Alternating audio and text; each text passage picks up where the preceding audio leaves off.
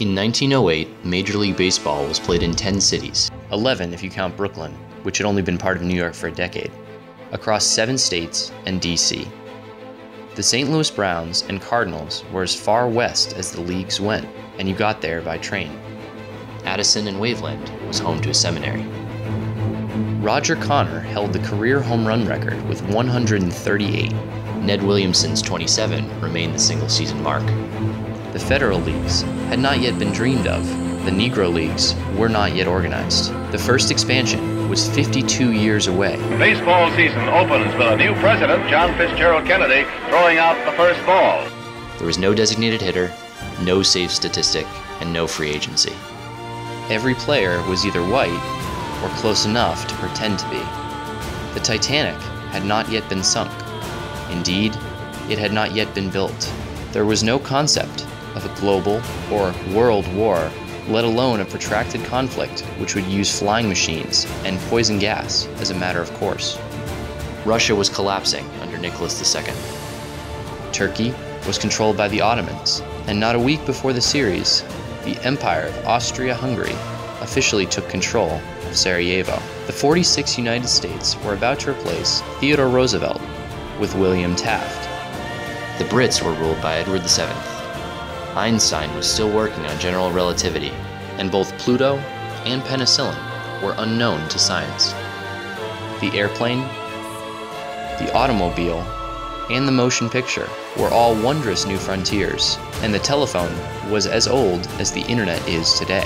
The Gerontology Research Group lists 22 known human beings living today who are confirmed to have been at least five years old in October of 1908. All but one are female. Five are American born, and none lived in Illinois or Michigan. It is an effective certainty that of the approximately 6,300 people at Detroit's Bennett Park on October 14, 1908, none are still alive.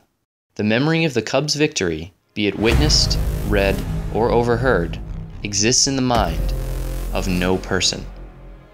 Great great grandparents, born after that date, are being buried. The Cubs were the first team to win the World Series twice. Since then, the world has marched on, and the game has rebuilt itself time The Mets are the world champions, Bob. Look at this scene. and time again. Red Sox fans have longed to hear it. The Boston Red Sox are world champions.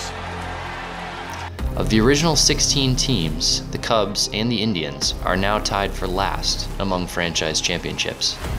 But the Cubs have not been left behind. They have not folded or moved.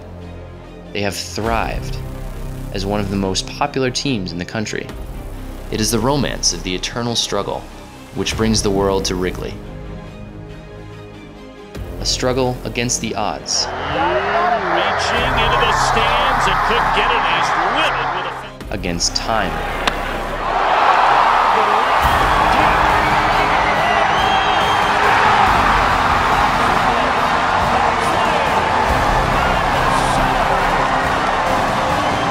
the way to do it. against the dying of the light. One, two on the way. Swing and a miss. Cubs win. Celebration time on the mound at AT&T Park. The Cubs have taken care of the San Francisco Giants.